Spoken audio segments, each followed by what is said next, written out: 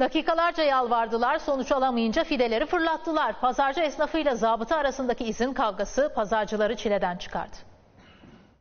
Yoksulum. Ekmek bulamıyor. Bunu satıyor. Beni buradan atıyorlar. Ne diyeceğim ben?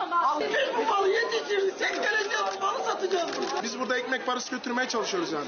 Zabıta tezgahları toplayın dedi, pazarcılar direndi. Getirdikleri fideleri, yeşillikleri yerlere attılar. Yine de yerlerini terk etmediler. Gitmiyor buradan. Gitmiyor çıkardı.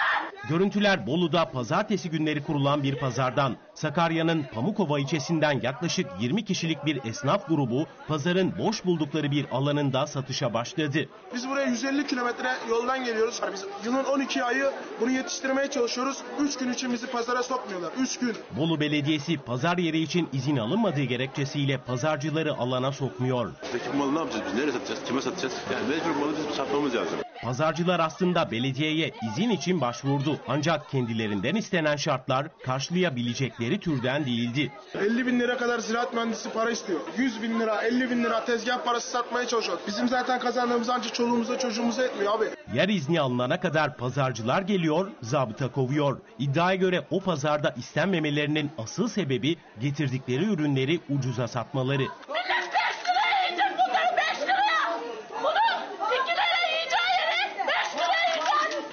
Getiriyoruz 2 liradan, 1,5 liradan, 1 liradan fide satıyoruz diye bizi istemiyorlar.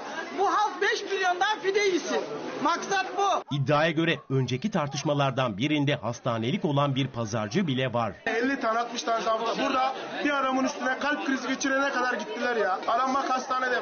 Son pazar yeri kavgasında zabıta pazarcılara bir ihbarname makbuzu kesti ve bir günlüğüne satış yapmalarına izin verdi. Bizden ölü fiyatını alıyorlar. Biz satamıyoruz ya elimizde kalıyor. Ölü fiyatını alıyorlar. Gidiyorlar 5 milyona 10 milyona satıyorlar demediler. Millet 5